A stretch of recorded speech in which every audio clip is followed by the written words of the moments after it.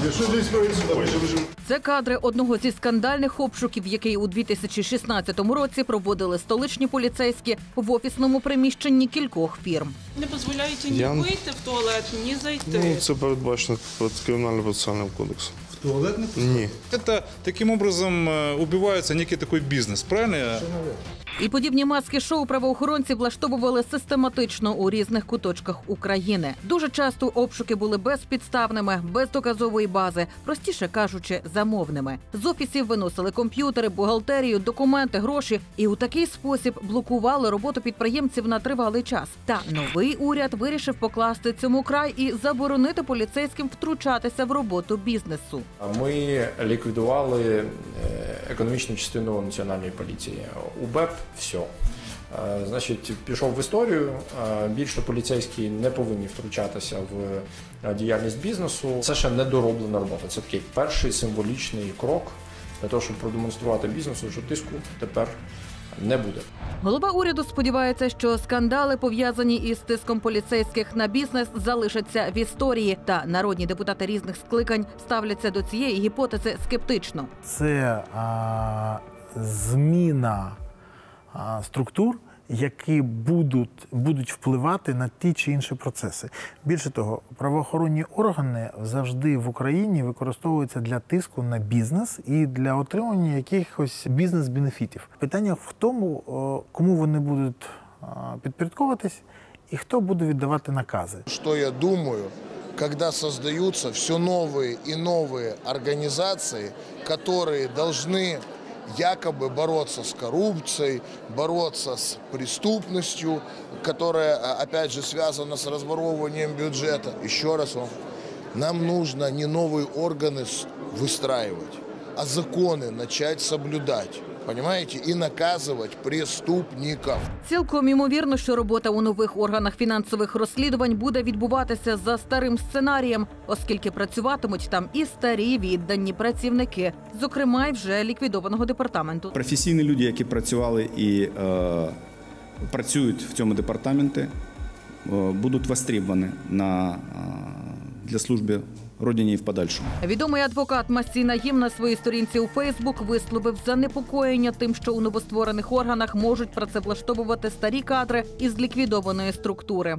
У мене є інсайт, що хороша новина для бізнесу незабаром почне погано пахнути. Сьогодні економічний підрозділ в національній поліції ліквідували. Ліквідували добре, але заступником начальника управління є Євген Шевцов. Аваков сказав, що новий орган, служба фінансових розслідувань, стане аналітичним центром, приверне кращі кадри з усіх органів виконавчої влади. Це підтверджує мій інсайт, що в новий орган може перебігти Шевцов.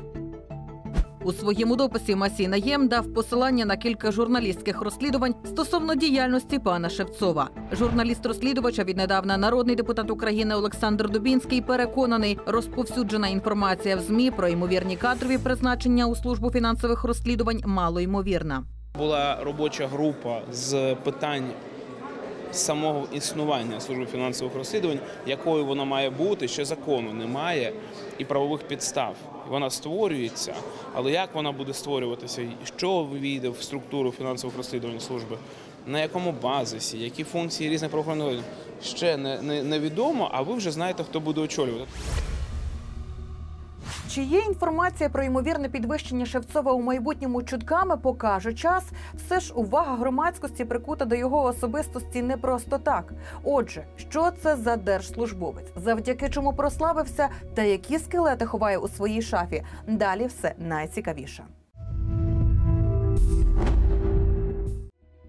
Шевцов Євген Олександрович. З жовтня 2003 року до квітня 2007 року працював в органах податкової міліції міста Києва на посадах оперуповноваженого 2007-2016 роки. Робота в органах МВС України та Нацполіції на посадах оперуповноваженого слідчого начальника відділу тощо у 2016 році звільнився за власним бажанням з Нацполіції України та був призначений заступником директора фінансової компанії Лео Геймінг Пей. У серпні 2017 року зарахований до Нацполіції України на посаду заступника начальника ГСУ НП, начальника відділу в головному слідчому управлінні Нацполіції України.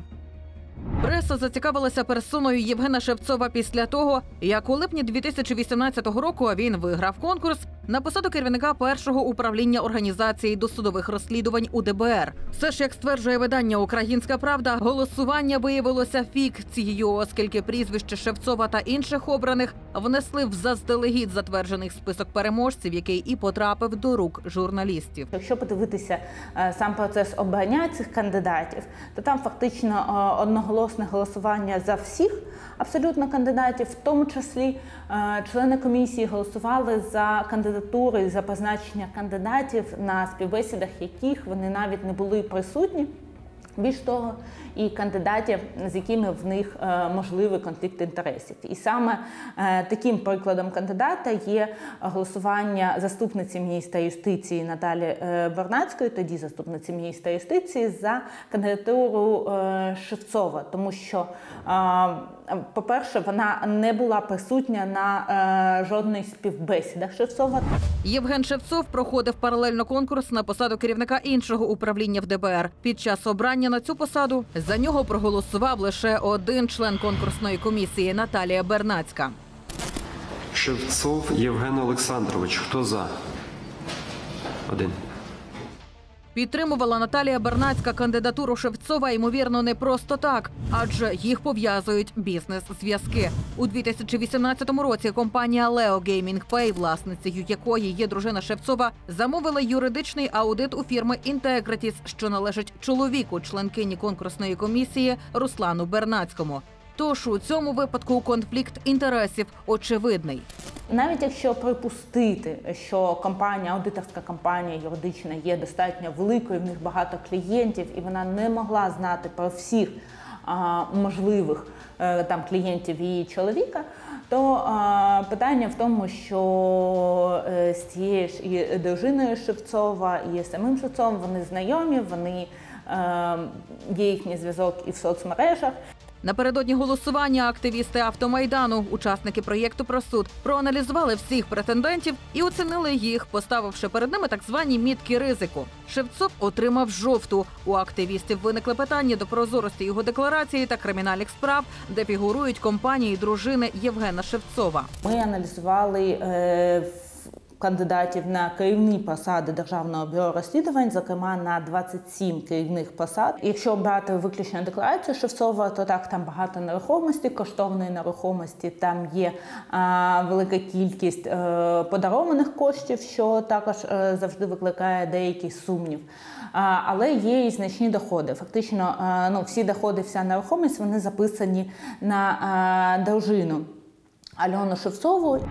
Судячи з декларації дружині, Євген Шевцов зобов'язаний буквально всім. Зі свого у нього тільки мисливська рушниця. Зате на дружину Олену Шевцову оформлені дві квартири, нежитлова нерухомість у Києві, земельна ділянка і будинок у Бориспільському районі столиці, а також Range Rover Vogue 2016 року випуску. В Україні ціни на нього стартують від 2 мільйонів 200 тисяч гривень. Чимало цінного майна, зокрема і авто, записані на фірми сім'ї. На банківських рахунках у 2018 році сім'я зберігала майже 18 мільйонів гривень і 15 тисяч доларів. Ми е, копали трошки більше і побачили також е, існуючі кримінальні провадження щодо цієї компанії. То в тому числі є і звинувачення в тому, що е, ця компанія виводить кошти на територію Російської Федерації, е, і тому е, саме до таких дій, до е, можливих незаконних дій, е, ідуть судові розслідування і е, ведуться кримінальні справи. Офіційно компанія дружини Шевцова Leo Gaming Pay приймає оплату за комп'ютерні онлайн-ігри на зразок популярних World of Tanks або World of Warships.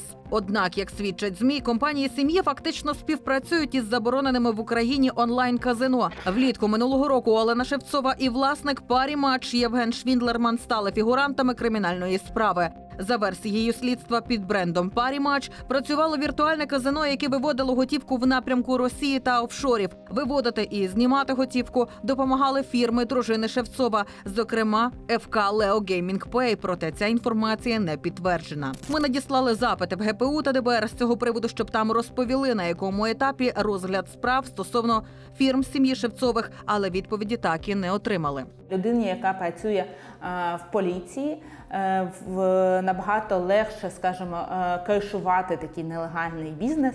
До того ж, як пишуть блогери під керівництвом Шевцова, правоохоронці систематично здійснюють наїзди на it підприємців та паралізують бізнес можливих конкурентів. Прес-служба Нацполіції періодично рапортує про успішно проведені обшуки в онлайн-казино, викладаючи фото вилучених грошей, техніки і розповідаючи про злих кримінальників-організаторів грального бізнесу.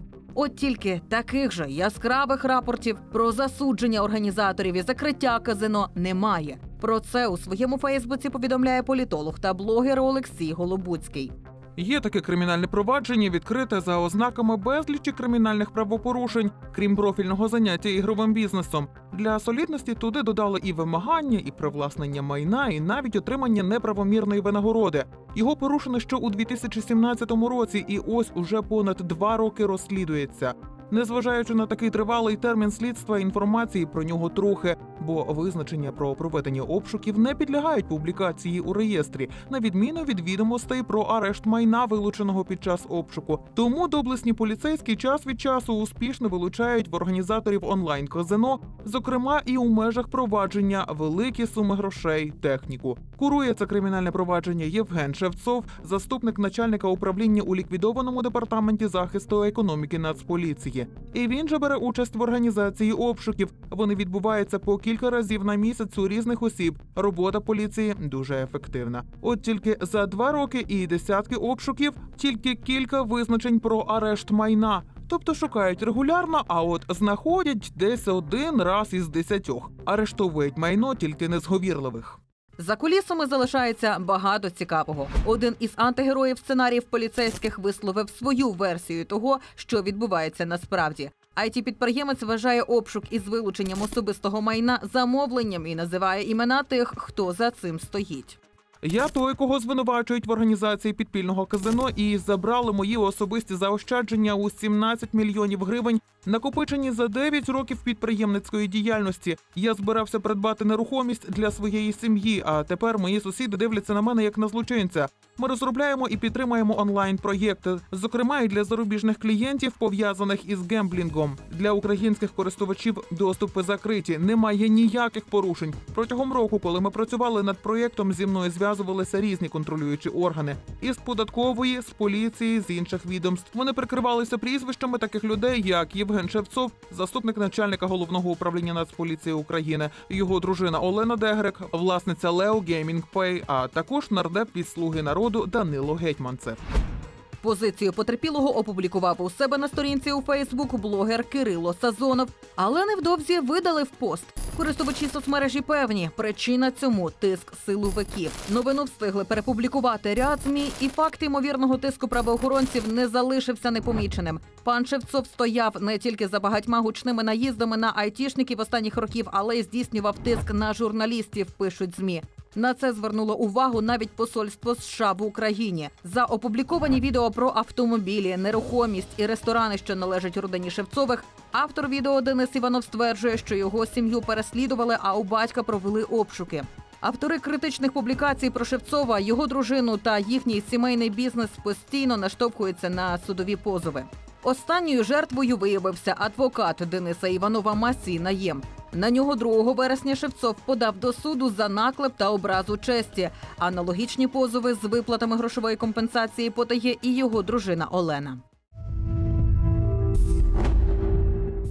Підтвердяться чутки про ймовірне підвищення Шевцова у нових фіноорганах чи ні, покаже час. Проте вищому керівництву слід зауважити, що потенційне просування по службі колишніх найвідданіших неочищених кадрів може перетворити справжню реформу на просту зміну назв органів.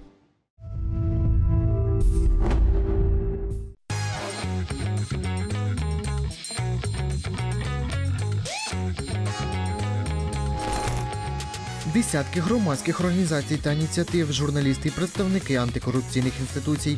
Стопкор вже вдруге став учасником масштабного заходу Думкофест.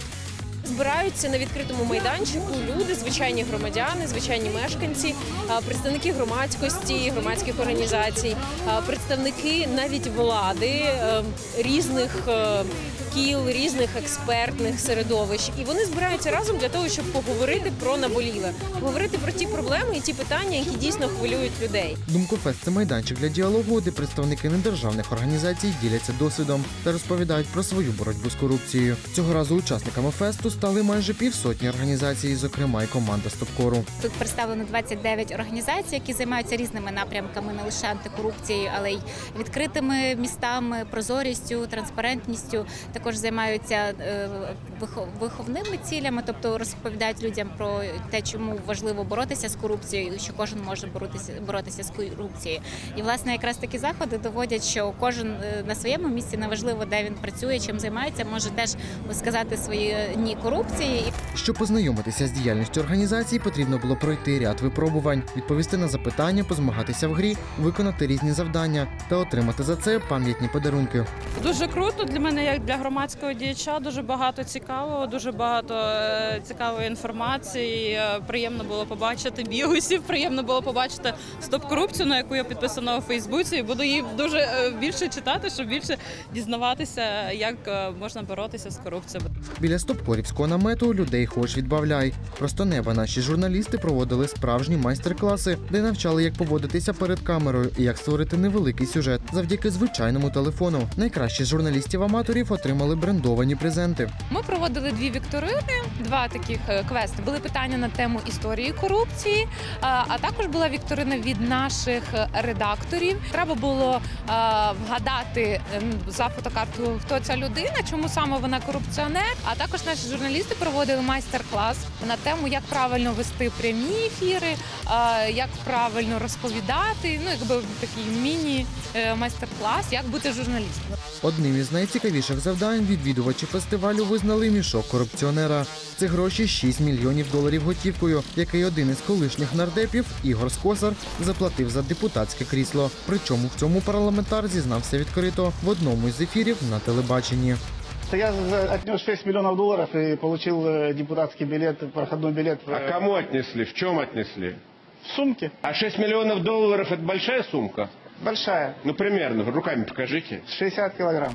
Скільки важить 6 мільйонів доларів, змогли оцінити відвідувачі. Щоправда, не всі змогли цей вантаж підняти. Ми поставили сумку вагою 60 кілограм. Це приблизна вага 6 мільйонів доларів. Всі дуже шоковані, що це така непід'ємна да, сума. Свої сили випробував і Артем Ситник, очільник Національного антикорупційного бюро України. Щоб брати кеш, мабуть, потрібно бути сильним корупціонером. Та ми також поцікавилися, чому резонансне розслідування з Ігорем Скосарем було закрите. Особа робить якусь гучну заяву, яка яку в подальшому не може підтвердити. Виключно для того, щоб або е, поганий піар це також піар, кажуть. А друге це можливо відволікти е, суспільство чи там правоохоронні органи від тих проблем, які дійсно потрібно розглядати і розслідувати. Достатніх доказів, конкретних, крім суми, конкретних якихось показань, куди носились, де носились, кому передавалося, присутності кого, які автомобілі використовувалися, і таке інше, конкретних даних з цього приводу ми не отримали. Ще серед учасників, які виконали умови квесту на сторінці Стопкору у мережі Facebook, ми розіграли подарунки. Щасливчики отримали фірмові блокноти, чашки та футболки. А найактивніші матимуть можливість пройти стажування на Стопкорі. Дуже незвичний формат, коли е, серйозні проблеми вирішуються через якісь фанові речі. Тут якийсь квест проводиться, там які, якісь сценки, там е, лекції і дуже різні формати, які е, зацікавлять людей. людей. Корупція це те, що знищить майбутнє наших дітей тут. Цей фестиваль вже став щорічним місцем зустрічі найвпливовіших антикорупційних організацій. Думкофест дуже потрібний захід, як на мене, тому що тут ми можемо обмінятися і думками, і можемо продемонструвати громадськості і суспільству уже напрацювання та технології тими, якими користуються журналісти-розслідувачі, представники громадських організацій, в тому числі органи центральної влади. Відвідувачі стверджують, що від боротьби з корупцією напряму залежить успіх нашої країни. А Стопкор продовжує тримати вас в курсі подій.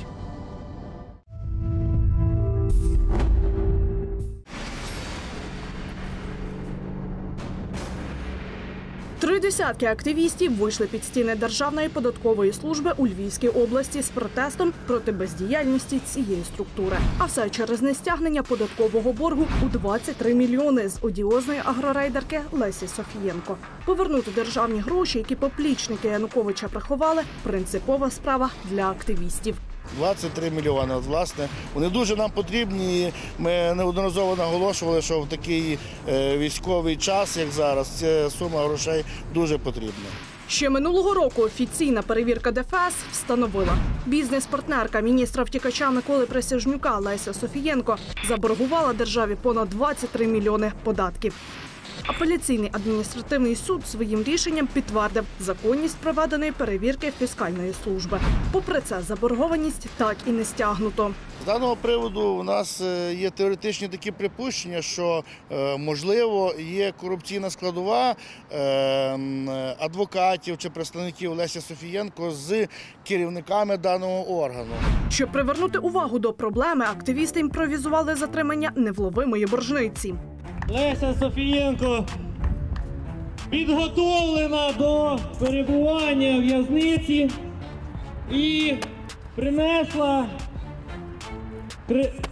податковий борг. Після такого перформансу активісти вимагали зустрічі з очільником структури. Та новий керівник податкової Львівщини так і не вийшов. Його підлеглі повідомили, він на сесії. Утім, і там активісти його не знайшли. Його телефон. Я просто взагалі не знаю. Ну ми з ним ще не знайомі навіть. Тож замість керівника на запитання активістів відповідав начальник управління комунікації ДФС. Протестувальників він запевнив, що податківці направили лист з вимогами до боржниці Софієнко. За законом, не отримавши борг у 10-денний термін після рішення суду, вони зобов'язані направити податкові вимоги Софієнко. 15.08 була надіслана вимога Софієнко. А, тобто була надіслана? Їй надіслана вимога Софієнко. Е, 22-го, якщо не помиляюся, було е, від пошти 22.08 відправлення було повернуто з пошти і з повідомленням про невручення цієї вимоги. А підстава Від- невручення не, не зазначена? Ну, пошта За не терміном- змогла за вручити. терміном зберігання? Так, вони повернули Від закону Леся Софієнко ховається, тому податківці будуть стягувати борг через суд примусово. Борг виник е, 12.08. Відповідно до податкового кодексу е, стягнення е, дається 60 днів на стягнення того боргу. Ну, 60 днів на сплату того боргу. Відповідно, стягнення боргу відбувається через суд державними виконавцями. Процедуру примусового стягнення боргу розпочато. До 12 жовтня податкова служба має донести боржниці вимоги. Тож з ким львівські податківці з неплатницею, втікачкою чи з державою Стопко розповість у наступних випусках.